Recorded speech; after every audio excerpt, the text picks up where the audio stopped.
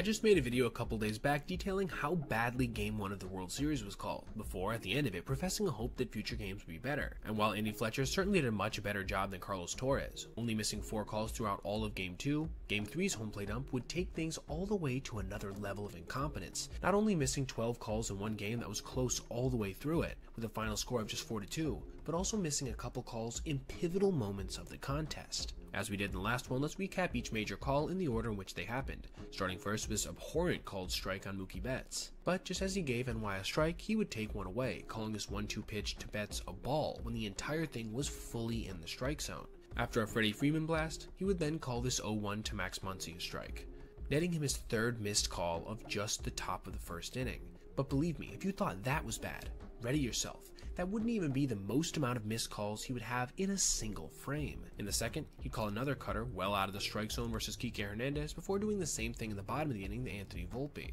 I guess you could say at least he's consistent. You'd miss another borderline cutter the next inning, this one that ran high versus Max Muncy with two on and two outs, before making what was, up to this point, the most consequential call of the game, calling another cutter that missed well out of the strike zone away a strike. On a 3 1 count, no less. This would lead to the Dodgers being robbed of a run after Smith grounded out to end the inning. But don't feel bad for them just yet, as before this game would end, they would certainly receive some favorable calls in big spots as well but it would not be in the bottom of the third, when Walker Buehler got squeezed on this strike that was painted over the low and outside corner, with Nestor Cortes in the following frame not having this borderline pitch called, even though Foxtrax said that it was a strike, though I will acknowledge this was more borderline than nearly any of his other misses. To his credit, he wouldn't miss anything major for the next couple of frames, before he called this slider that was high and away to Gavin Lux a strike, and then this sinker that was perfectly painted over the low and outside corner again, a ball.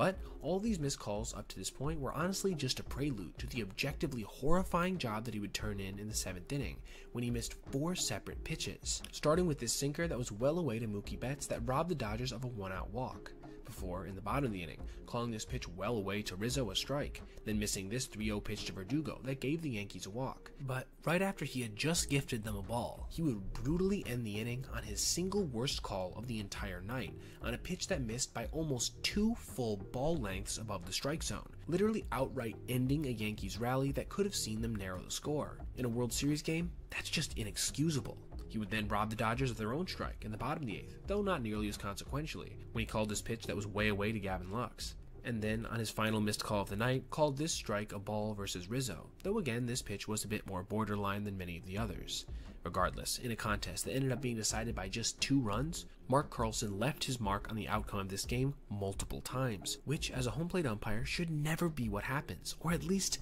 very sparingly. Another embarrassing performance by a Major League ump on the biggest stage possible. With performance after performance like this, the question has to be asked how much longer will Major League Baseball put up with this stuff?